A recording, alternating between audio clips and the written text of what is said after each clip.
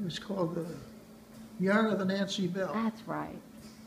And it was on the shores that round our coast from Deal to Ramsgate span, that I found alone on a piece of stone an elderly naval man.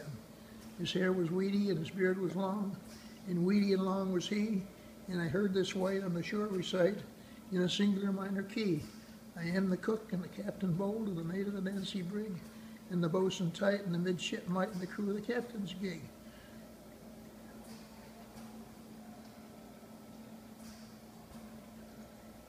Was there on the, there's, there's some missing. Uh-huh.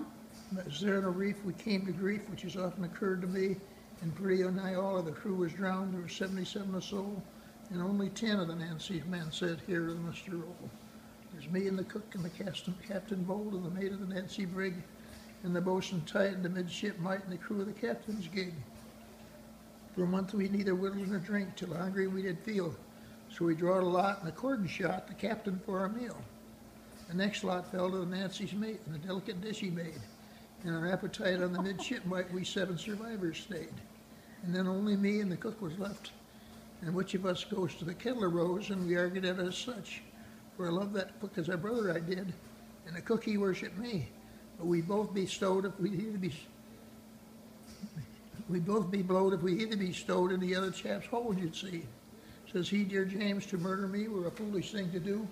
Don't you see that you can't cook me? Well, I can and will cook you. So he boils the water and takes the salt and pepper in portions true, which he ne'er forgot, and some chopped shallot and some sage and parsley too. And he stirs it round and round and round, sniffs at the foaming froth, when he ups his heels and drums the squeals in the scum of the boiling broth.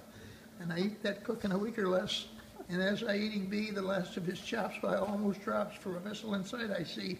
And I never laugh, nor I never smile, nor I never lark nor play, but I sit and croak in a single joke I have, which is to say, I am the cook and the captain bold and the mate of the Nancy brig, and the boatswain tight and the midshipmite and the crew of the captain's gig. Oh, that's for sure, Dad. Thanks.